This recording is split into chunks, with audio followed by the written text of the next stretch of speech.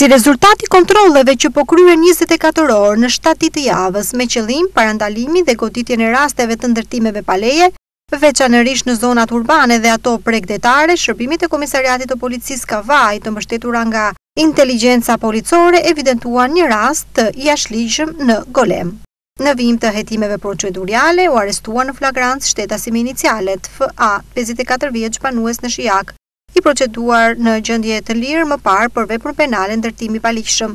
Po kështu nisi procedimi penal për shtetasin me inicialet GL, dyzet e tetë vjeç banues në fshatin Rashbull, dhe shtetasin AG, tridhjetë e pesë vjeç banues në Golem. Këta shtetas janë kapur në flagrancë duke kryer punime pa lejen e organeve kompetente, për ndërtimin e një moli afër stacionit të plazhit në pronësi të shtetasit me inicialet FA.